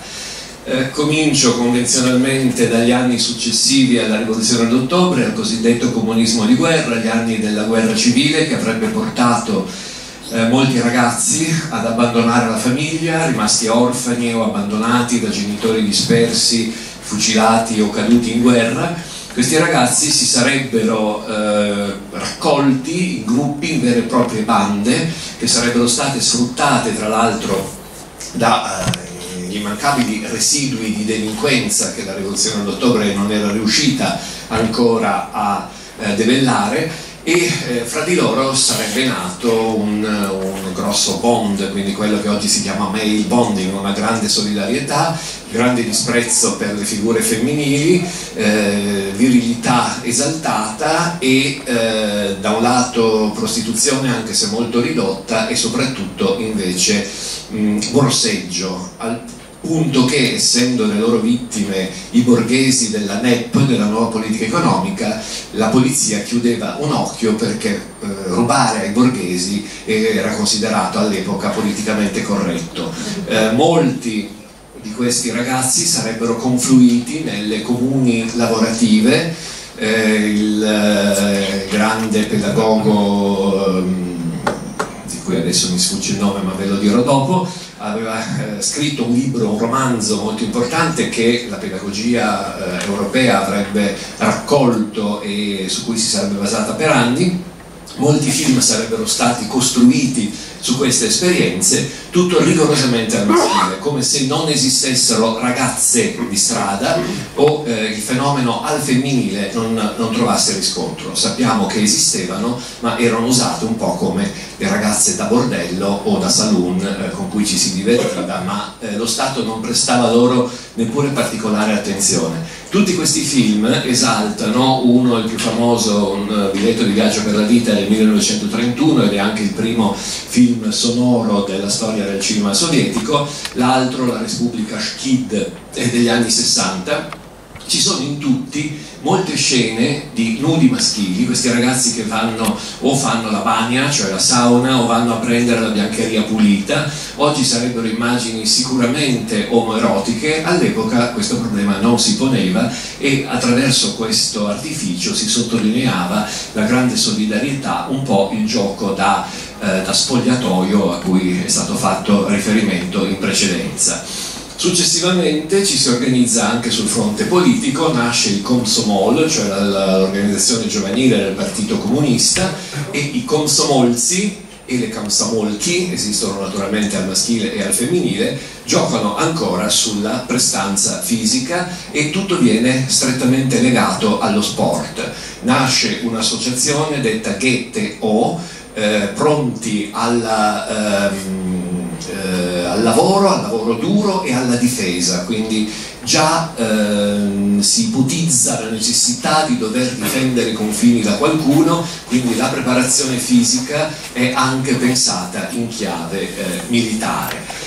Questa è simbolicamente, anch'io naturalmente ho scelto alcune tappe fra quelle che ritengo più importanti, tralasciando una serie infinita di sfumature, questa è la donna sovietica come doveva apparire negli anni 20. Eh, era una donna, lo vedete, mascolina, con i capelli molto corti, doveva portare immancabilmente il fazzoletto rosso legato non come facevano le antiche contadine sotto il mento ma dietro la nuca e eh, nella foto di sinistra tiene in mano il bastone della bandiera, presumibilmente, ma potrebbe anche essere la canna di un fucile che si combina idealmente con le ciminiere che fanno da sfondo, visto che la fabbrica era il luogo ideale per antonomasia. Gli uomini erano ancora al fronte, la donna non doveva assolutamente stare in casa, quindi non si pensava neppur lontanamente al focolare domestico, anzi eh, la pianificazione degli architetti costruttivisti prevedeva appartamenti in cui la cucina non esistesse più. Nel eh, manifesto di destra si vede, eh, si inneggia abbasso la servitù delle cucine, dai, metticela tutta, liberati, quindi la donna liberata vestita di rosso, mentre in basso ci sono tutte le tracce, ecco qui nella parte nella parte oscura c'è la donna che ancora fa il bucato, eh, c'è il famigerato fornello a spirito su cui preparava il, il, cibo, ci sono i panni stesi, mentre la luce che viene dalla finestra porta la, eh, la mensa collettiva dove cuoche stipendiate avrebbero cucinato per tutti o ancora meglio le cosiddette fabbriche cucine in cui si sarebbero preparate decine di migliaia di pasti che sarebbero stati distribuiti poi in tutta la città. La donna non aveva né tempo né voglia di curare la propria femminilità, non si pensava alla moda, era una donna che sostituiva l'uomo che era in guerra e secondo gli insegnamenti, le teorie di Alexandra Kollontai, la prima grande femminista russa, amica e collaboratrice strettissima di Lenin, eh, si pensava, si pareva che in quegli anni l'Unione Sovietica sarebbe diventata il paese della liberalizzazione sessuale in assoluto. Utopia naturalmente, il riscontro, la degenerazione avrebbe portato a far sì che la popolazione maschile avrebbe sfruttato molto eh, volentieri questo stato di cose, quindi amore libero, basta coppie chiuse, basta con i sentimenti borghesi di possesso e di gelosia, eh, si viveva in, nelle comuni, comune intesa come falasterio alla Fourier, e eh, ci si sarebbe dovuti scambiare eh, il partner o la partner senza ricorrere a vecchie modalità. I ménage à trois all'epoca erano ricorrenti, eh, con, grossi, con diversi riscontri, in ambito intellettuale sono molto noti quelli di Majakovsky, per esempio, dei poeti simbolisti, eh, che eh, potevano permettersi di passare da una donna all'altra, di scambiarsele mh, inframmezzando queste esperienze con, esperienze con eh, investimenti poetici e artistici, nelle classi meno, meno, colte il problema sarebbe stato invece molto concreto, eh, un, una crescita tragica degli aborti perché la popolazione maschile approfittava, come già ho detto, la popolazione femminile subiva. C'è un film eh, del 28 straordinario che si intitola La terza via della piccola borghesia, più noto come con il titolo apocrifo di Letto o Divano o Amore a tre, in cui una donna che vive col marito in un piccolo seminterrato a Mosca, ospita eh, temporaneamente un amico, un compagno di, di guerra, di, di, armi del marito che era arrivato a Mosca dalla campagna, dalla periferia, per cercare lavoro. Il marito viene mandato fuori per una missione professionale, nel frattempo l'ospite dal divano si trasferisce al letto, quindi nasce questo rapporto di altalenanza fra il letto e il divano. La ragazza rimane incinta, va in una clinica dove si praticava l'aborto, resta disgustata dall'immagine filistea che le signorine bene eh, offrono e decide, secondo l'insegnamento di Alexandra Kolontai, di tenersi il bambino dicendo sarà un bambino comunista ci penserà lo Stato, lo manderò all'asilo eh, statale, abbandona i due eh, marito e amante che restano da soli nella stessa casa a giocare a scacchi e a mangiare la marmellata che lei aveva preparato. Lo eh, sceneggiatore di questo film era stato niente meno che Viktor Shklovsky, quindi uno dei più importanti formalisti russi, che anni dopo avrebbe commentato la propria scenografia, la propria sceneggiatura, scusate, eh, non scenografia ma sceneggiatura, eh, dicendo alla fin fine devo ammettere che eh, l'unica conclusione, l'unico ruolo che si poteva riservare alla donna russa era di farla uscire di scena, di, farsene, di andarsene via, allora retoricamente eh, celebrato come grande scelta, di grande eh, forza d'animo, ma in realtà si è soltanto tolta di mezzo e i due sono rimasti eh, molto tranquillamente da soli. Anni 30, il passaggio allo stalinismo avrebbe portato naturalmente grosse modifiche, eh, avrebbe, sarebbe stata ripensata la sobrietà, prima si è parlato di comodità, del vivere comodo e del lusso, tanto il, il bolscevismo più puro aveva investito sulla eh, essenzialità, sulla spartanità, sulla sobrietà, i mobili costruttivisti dovevano essere scomodi, banditi cuscini, banditi paralumi, bandito tutto ciò che fosse imbottito, Stalin dice per i miei staccanovisti, eroi del lavoro e lavoratori d'assalto, io voglio anche il lusso, voglio appartamenti comodi, voglio automobili private, voglio divani, voglio cuscini, voglio abiti belli e così via.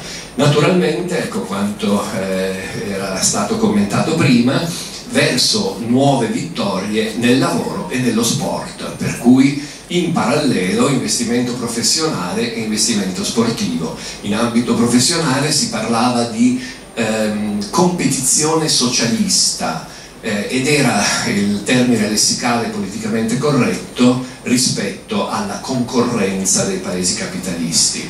Quindi incentivazione a produrre di più, a produrre meglio, esattamente come in ambito sportivo.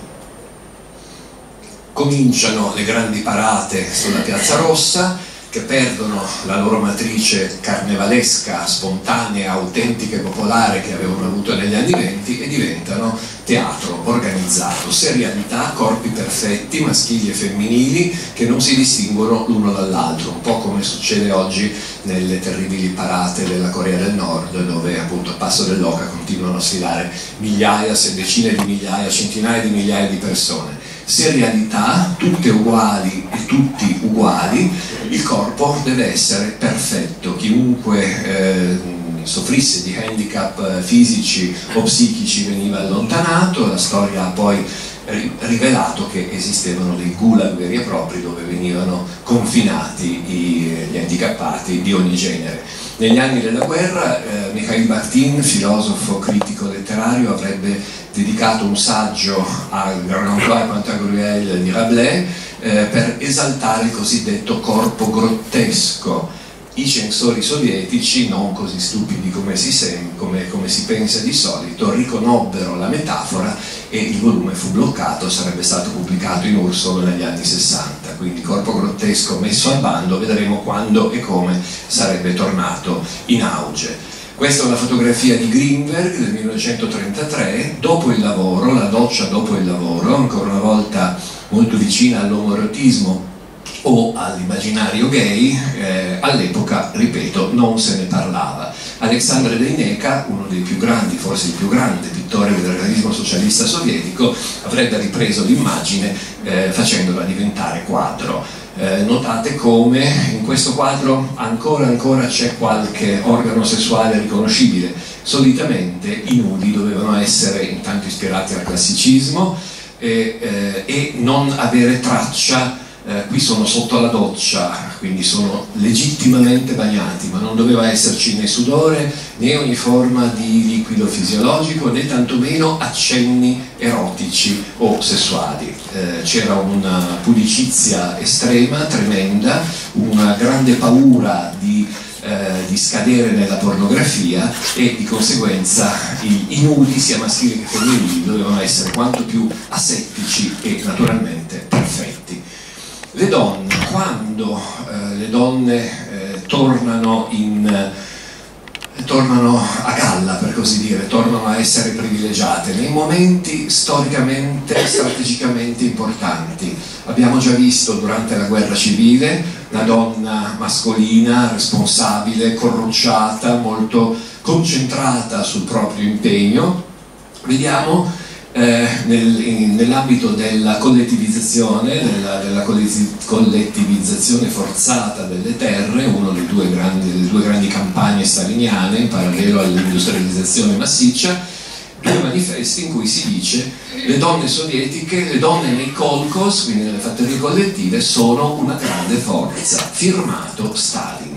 Eccone un altro, quindi si parla alle donne perché il messaggio arrivi agli uomini. E qui torniamo ad un'antica problematica della civiltà russa, matriarcato o patriarcato? Eh, molti decenni fa Evel Gasparini scrisse un saggio ancora oggi fondamentale intitolato Il matriarcato slavo di fatto la donna era colei che teneva in piedi dalla famiglia alla situazione generale, al villaggio, al lavoro, il marito era spesso alcolizzato, de jure eh, i, car i, carichi importanti, le, le cariche ufficiali erano rigorosamente al maschile.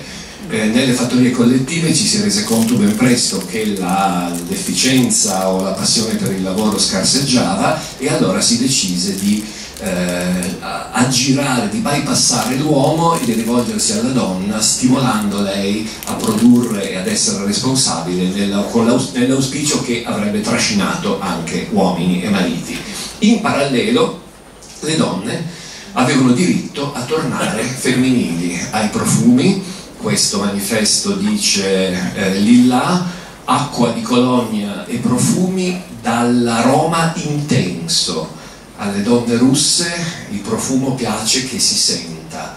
Eh, abbiamo dibattuto anni fa con una lettrice, un'insegnante di madrelingua, eh, quando io studiavo eh, russo all'Università di Torino e lei spiegava così alle mie compagne di corso voi avete le vostre belle camicette di seta potete mettervi profumi delicati noi avevamo le, le, giacche imbottite di ovatta e altro che, avevamo, se ci mettevamo il profumo doveva essere forte perché doveva vincere eh, tutto il resto, quindi questo concetto ritorna anche, ecco la donna truccata, la donna ben pettinata, ben vestita, tutto ciò che non era più fuori legge, anzi, ecco quest'altra usa una saponetta eh, profumata e il discorso è ancora lo stesso ho citato il problema dell'alcolismo, piaga ricorrente al maschile, rigorosamente al maschile, stessa cosa, stesso tipo di discorso, di coinvolgimento, si, ci si rivolgeva alle donne eh, un, ecco, questo, un padre ubriaco è la sciagura della famiglia e qui si condanna, ecco questa è la figura ancora del culat, del contadino ricco borghese, che viene eh, collegato idealmente all'alcolismo e alla bottiglia, in molti altri manifesti sarebbero state le feste religiose a essere ritenute responsabili dell'alcolismo, quindi il contadino che usciva dalla funzione di Pasqua traballando con la bottiglia eh, sotto braccio, oppure questo in ambito lavorativo, basta, questo è l'ultimo avviso, dopodiché si correrà ai ripari. Questo negli anni 50, naturalmente è stato parodizzato nella Russia post-sovietica decine, centinaia di volte, il giovane per bene, ben vestito, a posto, che dice no al bicchierino di vodka che gli viene offerto, viceversa eh, nella, nella, realtà quotidiana la vodka, la bevuta, la družeskaya papoika, la, la bevuta in compagnia era ricorrente e immancabile nel bene e nel male quando poi molto spesso si, si superavano i limiti, il finale era tragico e eh, le donne avevano orrore per l'alcol, o perlomeno ostentavano eh, quando a fine pasto gli mancavi le brindisi finale, allora dicevano una goccia, una goccia, soltanto una goccia per me. Pochissime erano le donne alcolizzate, mentre al maschile il fenomeno era davvero tragico. Alcune, eh, c'era una, tuttora esiste un, un gioco, eh, così dire, cosiddetto delle multe, se si arrivava in ritardo a un appuntamento, per ogni minuto di ritardo si doveva avere un, di fiato, naturalmente tutto d'un fiato, un bicchiere di vodka. Qui c'è proprio scritto della multa, il, il bicchiere fatto per la multa e eh, altra forma di macismo il bagno nel, nel ghiaccio, spe, spazza, spezzando il ghiaccio ci si tuffa, c'è anche una, una, tradizione legata alla religione ortodossa che lo prevede e naturalmente il bicchierino di vodka e eh, la, la, il solito bonding, il solito mail bonding, scene molto poco edificanti, uomini ubriachi eh, vicino ai chioschi che vendevano birra o vodka e la donna, questa forse è costruita, non garantisco che sia autentica, ma lo stato di cose che rappresenta, ho visto io con i miei occhi molte donne portare eh, di peso a casa il marito ubriaco la sera.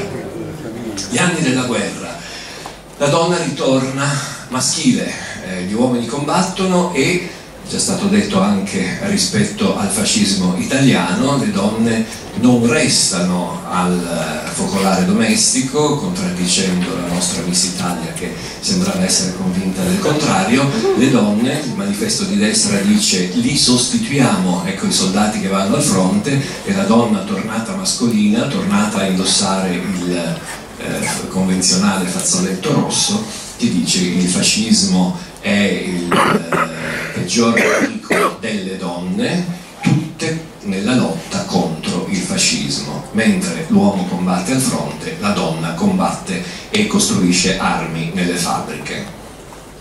Questa l'ho inserita per smentire una interpretazione in chiave occidentale, queste sono eh, un soldato russo e un soldato ucraino, tra l'altro di, di tragica attualità oggi, che eh, si baciano sulla bocca, non c'è nulla di omosessuale naturalmente, è un'abitudine dei popoli slavi, è stata usata molto impropriamente oggi anche da certe associazioni gay, eh, non ha nulla a che vedere con l'omosessualità, è semplicemente una tradizione e una convenzione, anche politica. Dopo la guerra, anche in URSS come in molte altre realtà totalitarie, gloria alla madre eroina, 11 figli e la donna aveva eh, medaglie e alcuni eh, privilegi particolari, quindi eh, torna l'idea che già con Stalin era stata promossa dal 28 in poi, durante il primo piano quinquennale, mettiamo al bando il divorzio, l'aborto, l'omosessualità,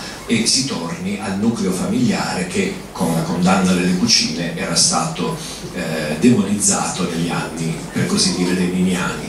Un punto estremamente interessante. Fine anni 40, 1949, primi anni 50, la prima sottocultura giovanile, gli stiliaghi. Stile vuol dire stile, yaga è un suffisso peggiorativo della lingua russa, quindi i malati dello stile giovani che su modelli occidentali molto fantasiosi perché nessuno in realtà sapeva che cosa fosse l'Occidente si erano inventati abiti e comportamenti che avrebbero preso talmente piede da eh, preoccupare il regime sovietico che sarebbe corso ai ripari.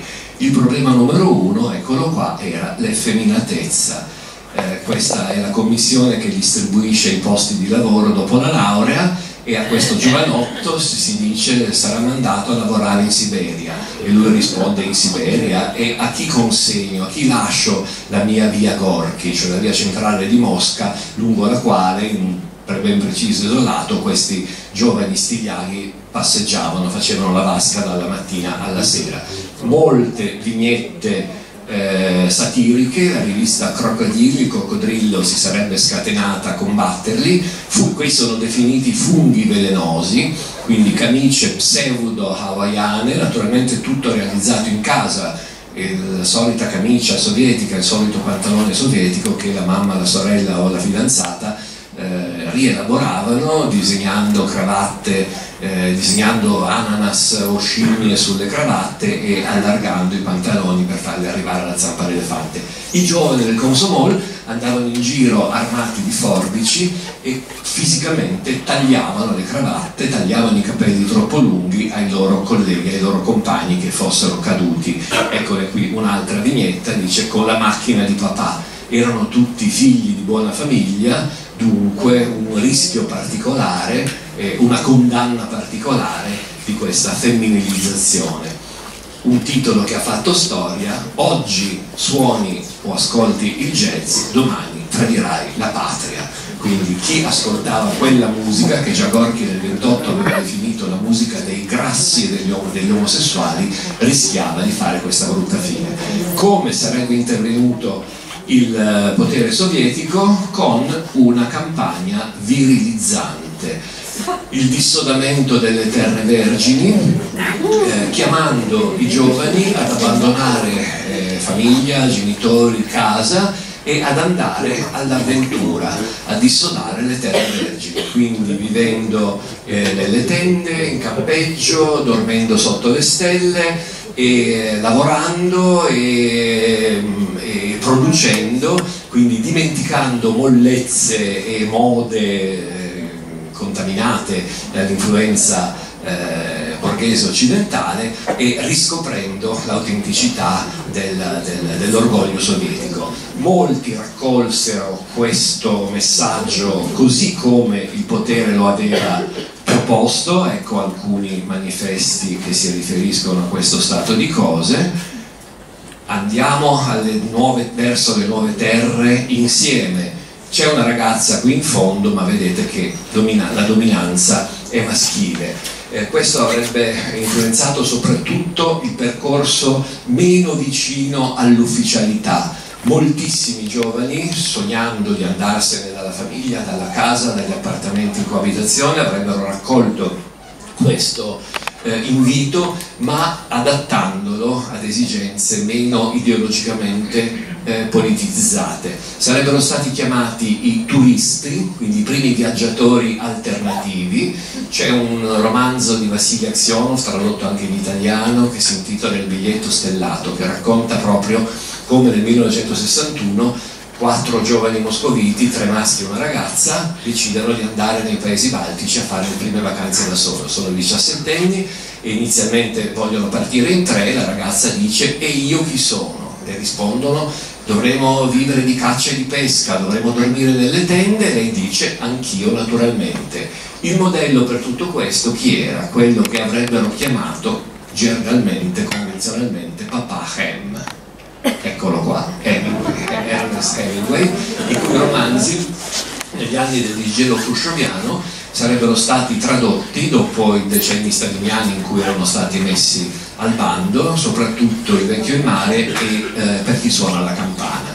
Il modello hemingwayano di macismo cubano-americano avrebbe vinto e eh, iniziò una specie di gioco alla Hemingway.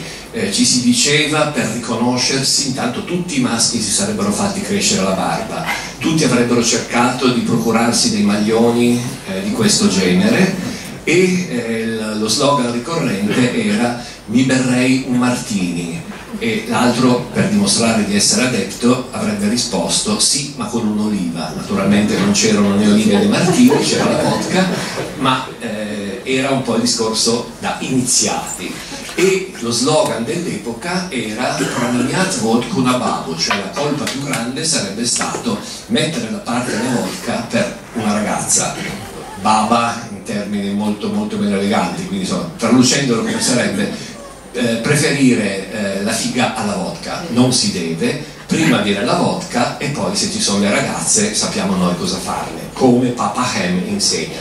In ogni stanza di intellettuale o pseudo-intellettuale il ritratto di Hemingway sarebbe stato immancabile, eccolo qua, mo molto macio e molto moderno.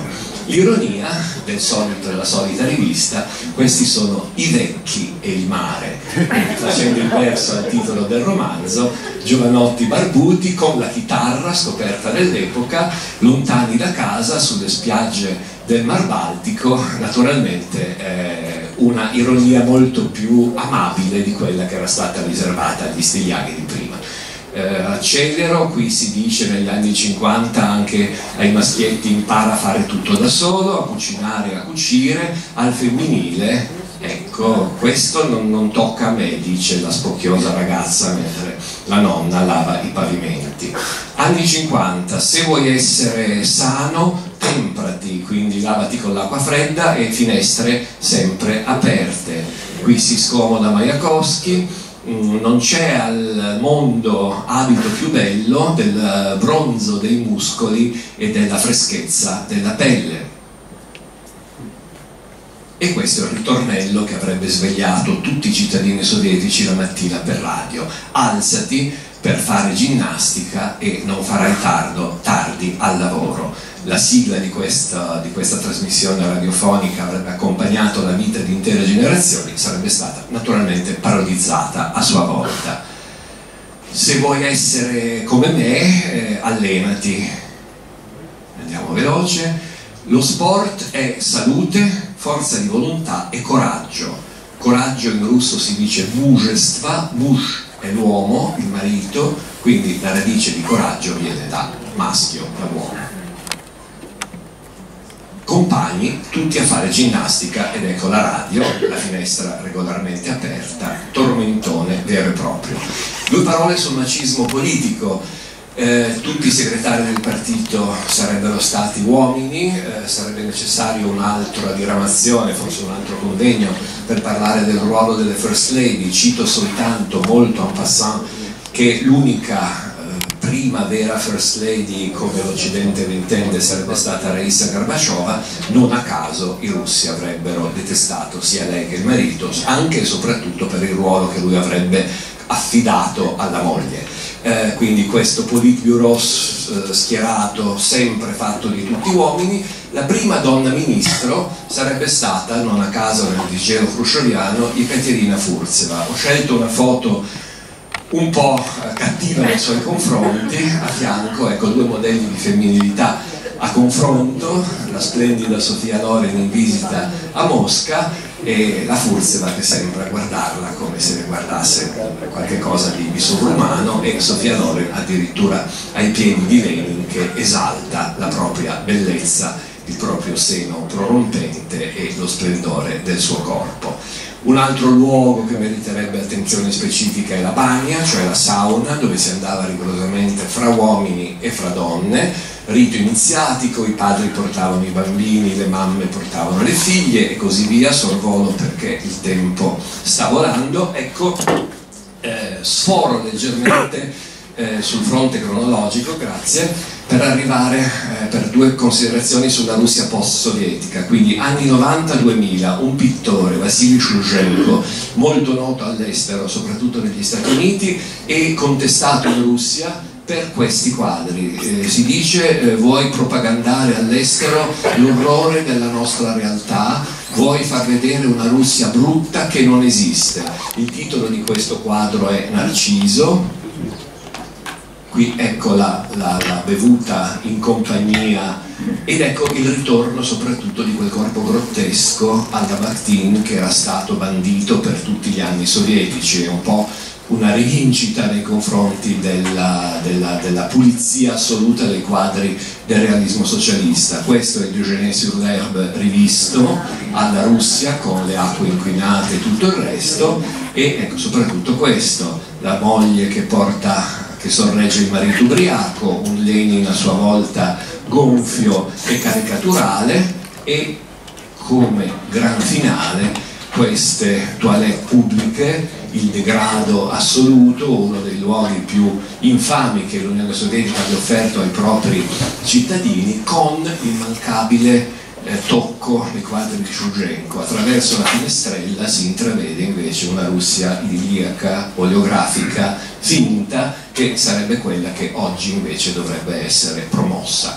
Concludo con eh, l'immancabile riferimento a Putin, lo faccio prendendo spunto dal titolo dell'ultimo lavoro di Svetlana Alexievich, recentemente premiata con il Nobel.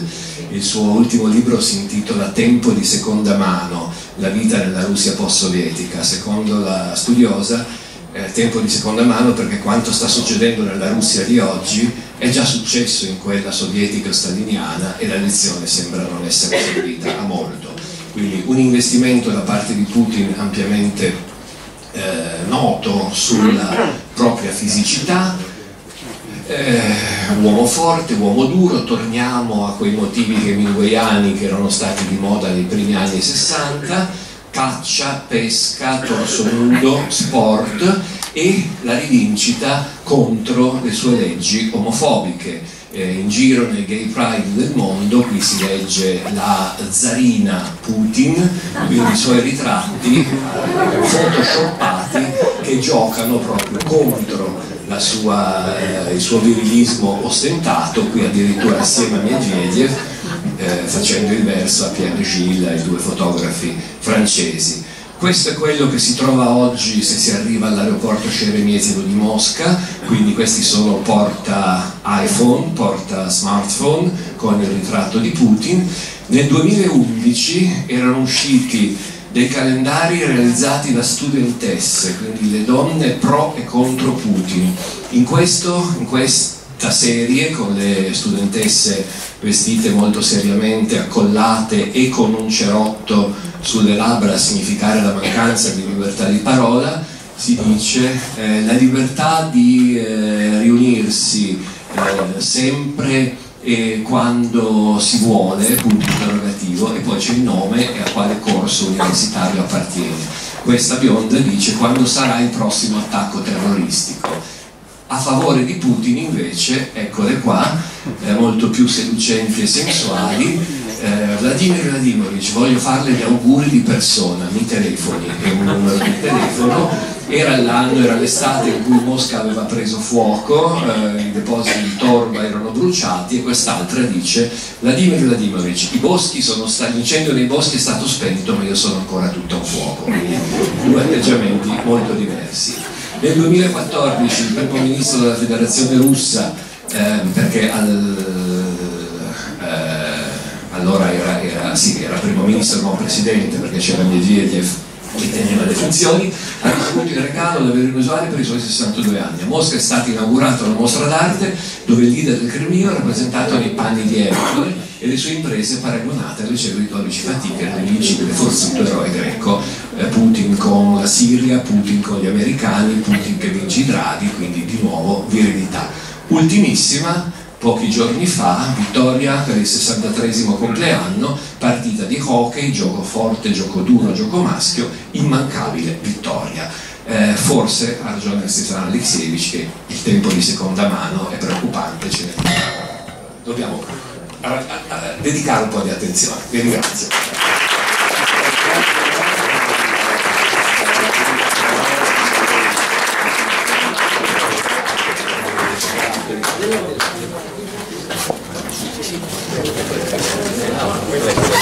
C'è tempo anche per qualche c'è tempo anche per qualche domanda, quindi grazie a voi la parola.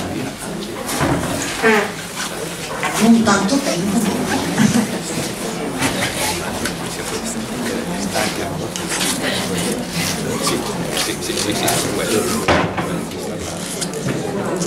Approfitto di questo intervallo in cui vi state pensando se fare domande o meno per eh, integrare le cose che ho detto all'inizio, sono stata un po' affrettata e volevo sottolineare che quest'anno il 900 intanto, innanzitutto sono Rosanna Ambrogetti, mi dimentico sempre di qualificarmi, faccio parte del comitato organizzatore del 900 Fest e quest'anno il 900 Fest ha messo, messo in piedi grazie all'università un'ottima collaborazione ed è per questo che oggi siamo qui. E ringraziamo, ne approfitto per ringraziare l'università perché è una collaborazione che ci, ci, fa molto piacere che speriamo di portare avanti anche nei prossimi anni, quindi questo era dovuto e mi scuso di non averlo fatto prima, ringrazio anche eh, Patrick Lynch che è dovuto uscire, si, mi ha chiesto di scusarmi con voi ma avevo un impegno veramente irrimandabile eh, con cui abbiamo tutti collaborato per, per la realizzazione di, questo, di questa appendice universitaria. Adesso lascio a voi il microfono.